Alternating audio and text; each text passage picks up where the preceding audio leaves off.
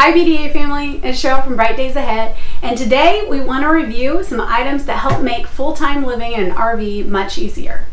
Now you've seen a lot of YouTubes, you probably have already watched some right now about full-time or RV gear. So this is not going to be that. It's not going to review hoses or water pressure regulators or dump hoses or any of those things. These are going to be items that if you are a full-time family, it just makes living in an RV either easier, homier. Um, we're going to talk about a few cleaning items. And so you may not be full-time, but maybe you're going for an extended trip or the summer, or maybe you're grandparents that you're going to have kids over.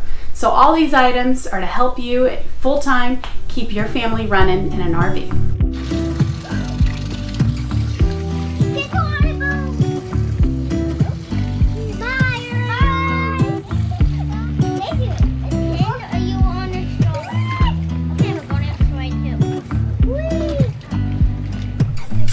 Okay, all the things that we're going to show you are also really cost effective. I think there's only a few things that we're going to show you that's priced over $25.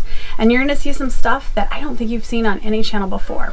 But the first thing I want to show you is my favorite. And I don't know if people talk about it a lot. And that's my washing machine.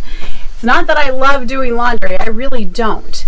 But I think this is the number one item in here that has really made the transition from living in a house or sticks and bricks into the road the easiest for us. Now, you definitely do not have to get one. I know a lot of people that don't, and they go to the laundromats, and most campgrounds do have one.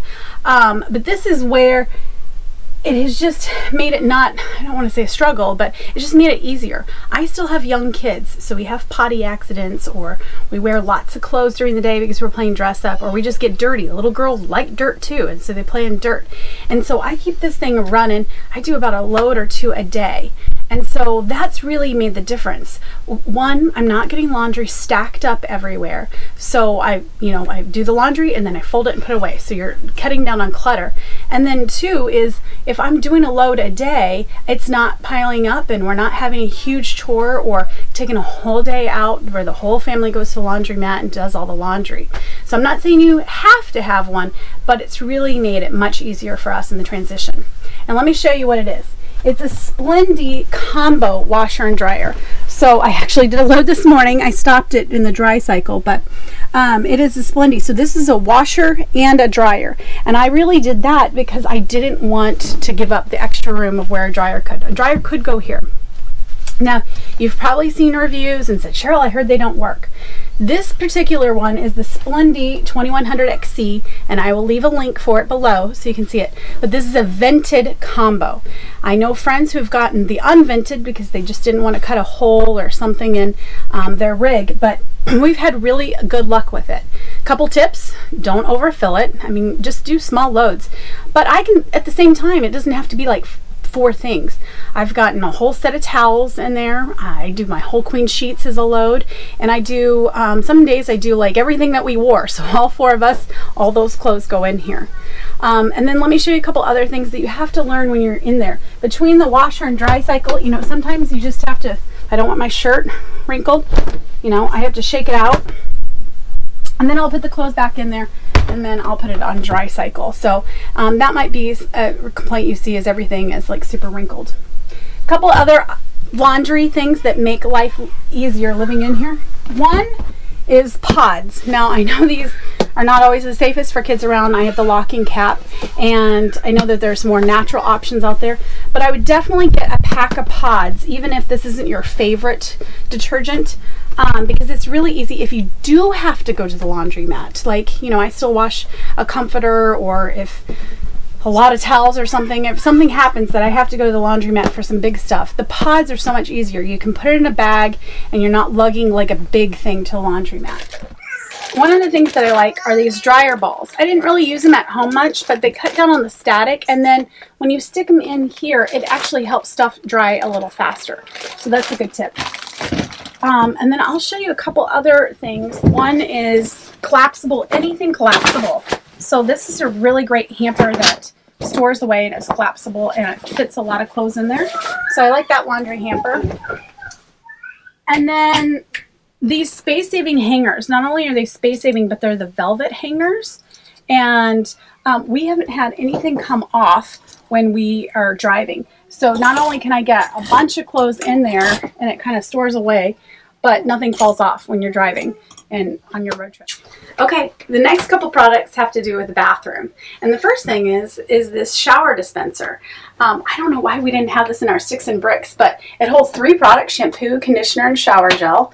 And we've kind of minimized where it's kind of all products for one, except for mom's special products over here. But now the next product, I promise you probably haven't seen it anywhere, anyone talk about it. And this is a stopper. And that's because we still have young kids and they want to take a bath. And in our shower pan, we have a good six, eight inches. And if I put the shower stop on here, they have a bath. They can play with our toys, and they just have a great time in here. And it really has given us an opportunity to still give them baths, and they're not missing out on anything. Something else we like, and you can use this at Sticks and Bricks, is like a shower cleaner. And this is a shower spray that you put on afterwards. And I don't want to say I've never cleaned my shower, I mean, maybe once or twice, but this really keeps, we don't get any mold or mildew, which is a huge concern in an RV because you don't have a lot of ventilation in here. And this keeps our shower really squeaky clean. You make some of your own. We've tried because we can't find this stuff sometimes where we go around vinegar, but definitely get something that you spray down your shower afterwards because you don't want any of that guck um, or, or mildew in your shower building up. Another thing that we got when we were full timing, I was actually resistant against it, are these Turkish towels. Uh, we have regular towels, but I will tell you, they don't always dry fast. And these dry really fast. And then they can also, they're great to take to the beach because the sand comes right off of them or to the pool. They fold up really nicely and they're super light and they're not bulky. So uh, it takes a little getting used to kind of using this towel because it's not your big fluffy terry cloth towel. But since we've changed to these, even John likes them and they dry super fast. Okay, so now for something icky. I think when people think about living in an RV, is it going to be stinky? And I'm not going to go into a lot of this. There's a lot of reviews on this, but this is my one RV thing that we really like. And it's called RV um, Organic Happy Camper, and it's odor free. So if something stinks, the toilet or the black tank, this thing has really stopped smells. We've been in over 100 degree heat, and our black tank never smells. So I really recommend this product. And then just a good reminder, have a first aid kit because you are outside a lot. You are camping. There's lots of boo-boos and scrapes or you're hiking. So we have one for in the camper, we have one in the truck, and we also have one in our go bag, whether it's to go hiking or to the pool, just because it happens a lot. So don't forget, get a nice size, you know, this is pretty um, small first aid kit and have on hand. All right, so when you're living full time, you don't want to feel like you're giving up anything. And one of those things was I was a big cook at home and I want to make sure that I can still cook yummy meals. So I had a lot of spices and I needed to figure out how to store them. So we got a spice rack. There's lots of options. I've even seen like little magnets that you can put on the side of your refrigerator, but find something for you to hold all your spices so you don't have to feel like you're giving up anything or any of your yummy cooking. Now this is definitely not essential. And I did not get on the bandwagon with the Instapot or the Ninja Foodi or anything until we came RV camping. And I think it was just peer pressure. Everyone had one, so I thought you had to have it when you're RVing. But I will tell you, it's really helped. So this is the Ninja Foodi. So it's an Instapot, a slow cooker, an air fryer, and it's a sauteer. And I will tell you, I use this a lot, especially if I didn't plan ahead on meals. I can get something cooked fast. Or oftentimes you think you're going to grill outside and it's either too windy or rainy or something. I can put this on the grill saute section and I can do steaks or fish. And then there's other times my oven, RV ovens, that's a whole nother subject. They're not always that reliable. And so this has given me something else to cook and it doesn't heat up the RV. Whether I use the convection oven or this oven, if it's super hot outside, sometimes it heats up the RV. So I've liked having this. Again, definitely not essential. And if you can't afford it, don't go right, run out and buy it. But it has made living in an RV, it gives you more options to cook. It's been really great for our family. Now I want to show you a few other things that help around the kitchen because I have some really great storage, but you don't have a ton of storage. And that's anything and everything collapsible. So I'm going to show you a couple. First is my dishwasher. Everyone's asked if I have a dishwasher. Yeah, sort of. Between John and this, this is my dishwasher. So it collapses down if I want to store it. It also fits right in here if you want to, you know, use one side to wash. And I have The other one, I don't use this a lot. I thought I was going to. It's a cutting board and it could be a dish pan. So if you're boondocking and you're saving water to wash your dishes and then it can fit over in here. I didn't I don't use it that way to, uh, dishes because we're always hooked up, so I don't care about uh, saving water as much. But as far as cutting board, I did use it as the cutting board, but some of the stuff got in here. But if you're a big boondocker, this would be a great one for you to use. Um, and then there's all kinds of collapsible things. Let me show you. I have little collapsible colanders. So, you know, these are great um, to be used, but like, look at how they store down. And then, actually, I didn't, don't tell John this, I didn't really probably need it because here's my salad bowl spinner. And look at this thing. This is great. It can be used as a salad bowl or here is a colander. I didn't have to buy those. I could have just used this as my pasta colander and then it's your salad, your salad bowl and your salad spinner. Uh, and then for Tupperware, I mean, you know your Tupperware drawer at home and your sticks and bricks is a disaster. Well, I didn't have room for that. So here are these little, and I have several of them. I think I have one more somewhere. And then they also collapse down. And so these are great. So in the kitchen, look for creative solutions like this that are collapsible and then look at all the space saving it does. Now I want to talk a little bit about decor. And this is not about remodeling because I'm not the best RV remodeling and there's a lot of Instagram pages out there for you to look at. But there are a few things that help you make your RV feel like a home. And behind my throw pillow, which that's also cozy, are a few of them. Anything command I should buy stock. I mean, I have Velcro, I have little hooks and stuff. This really helps. That's how we have all these pictures hung, is all Velcro, command Velcro. And then I think I have a command hook here. I have some hooks over by the door for our hats or dog leashes. And then even these little shelves are command strips um, or command brand. And so those little shelves are super cute and then my decor that I keep on it. Because you want a few things like little vases or something. And I don't want to have to move all those time. I use museum putty or molding putty. And this one's I think Loctite. And so you can get this. And you can see that little blue piece of gum. And we've had these up well over a year. Um, and they have not moved. So Loctite, I have a bunch of stuff with Loctite. And this really helps with your decor items. And then a couple other things like super ineffective, super cost effective, you know, not expensive is like, this is my kind of bent up roll, but shelf paper. And we've used shelf paper in a couple places. On here on the door, this was glass. I didn't want the glass to be shown because it's kind of see-through. So to make it darker for the girls, since this is their bedroom door, we put it on there. We put it behind a little pop of color back there. We had some speakers, and then when we did the sound bar, it had some holes. So to cover up those holes, I used that. And then I even used it, you know, shelf paper in, in here too, so it's easier to wipe out. So shelf paper, super handy, super inexpensive. I mean, they sell at Walmart, Target, anywhere. You can find some on Amazon. Um, that's super helpful.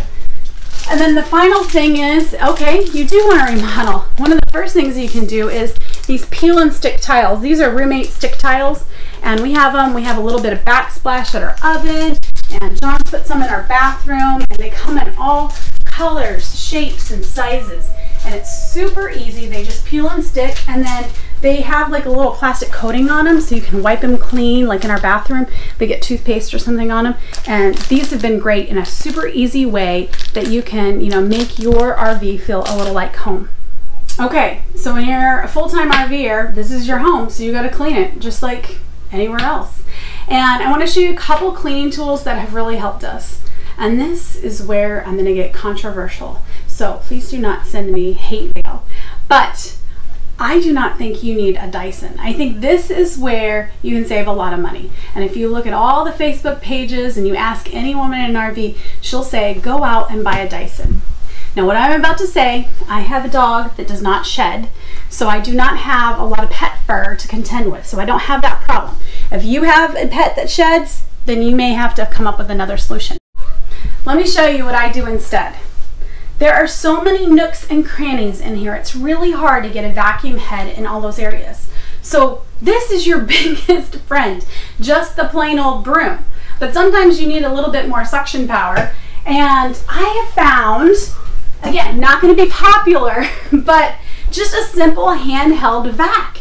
It picks up, you know, quick messes. It can, this one has a little attachment that has a little broom feature and it gets in some of those nooks and crannies a little bit. We don't have a lot of carpet in here. We just have a little carpet in there and this even helps me in the carpet area.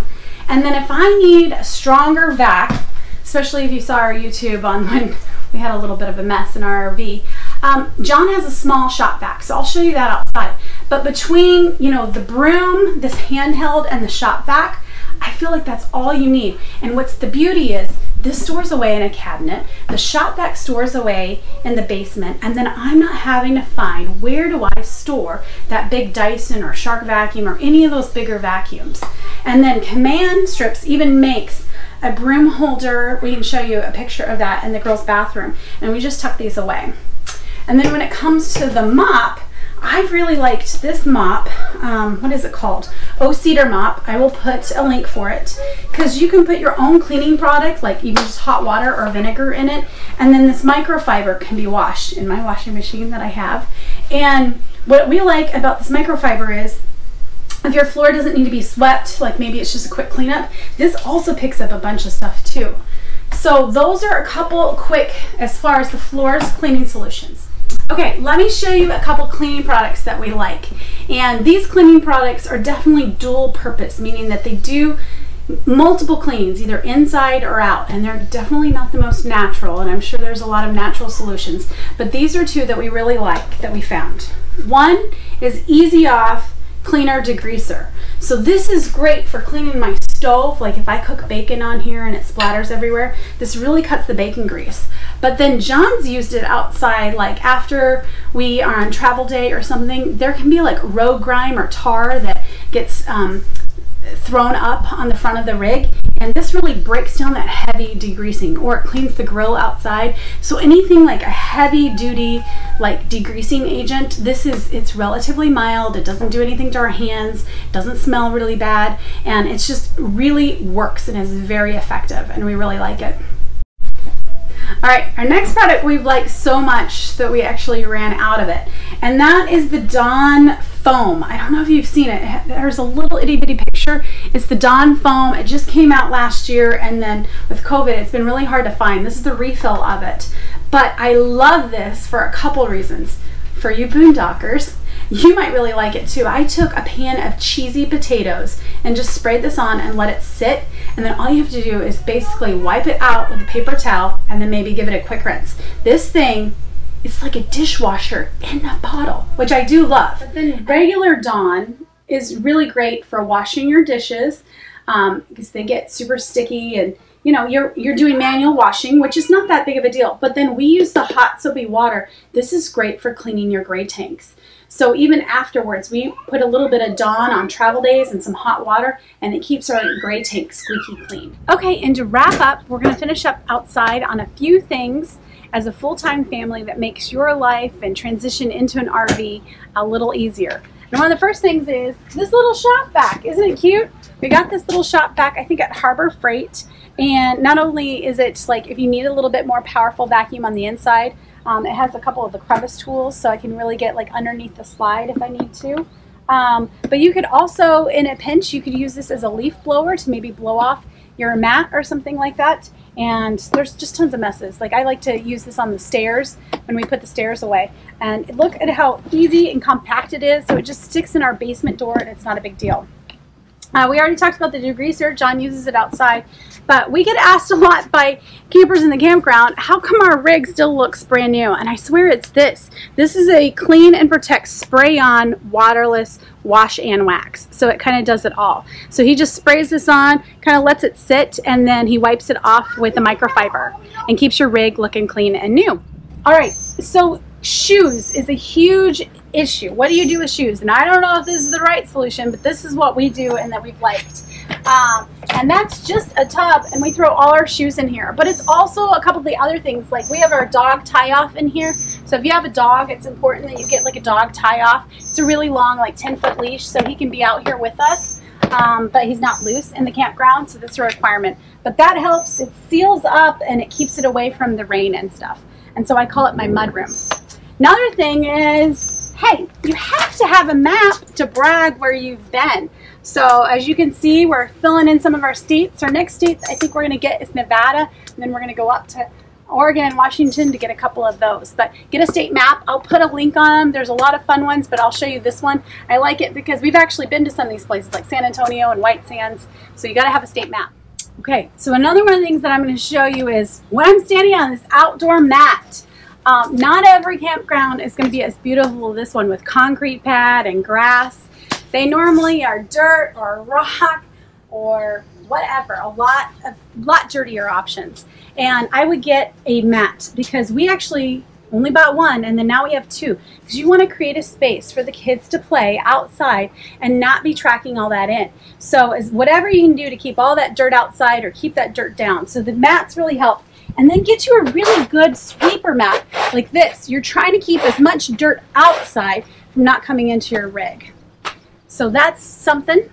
And then this, again, this campground is so nice. Look at this picnic table. One, it's huge.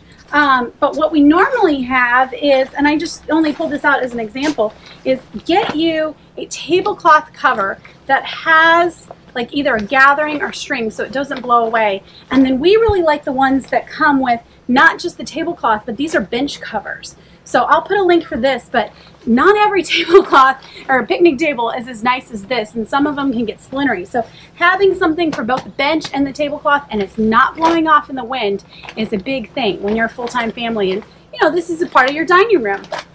All right, now I guarantee you've not seen this on any other channel. What, you don't have a blow-up unicorn pool? But we ended up getting this just because sometimes you do go to a campground like this one that's beautiful and it has a marina and we're, we're in Stockton off the river delta and I have a channel back there and it's really nice. But it doesn't have a playground or a pool. So how are you going to keep those kids entertained? And this is a simple solution. Um, our little unicorn blows up. We use our Viair air compressor. I think we showed it a couple times on our tire videos. But um, we can blow this up and the kids played out here for four hours, just playing in the pool with our toys and stuff. We ask permission, not every campground allows it, so just make sure yours does. But it's a simple solution that packs away really compactly and it keeps the kids busy. So that's about it. Well, besides my new moon chairs that I like, but I hope we gave you a lot of solutions of things that helps you make full-time living in RV really simple. So don't forget to subscribe and like our channel, please. We really appreciate everybody that watches. And until we see you again or on the road, bye and have some bright days ahead.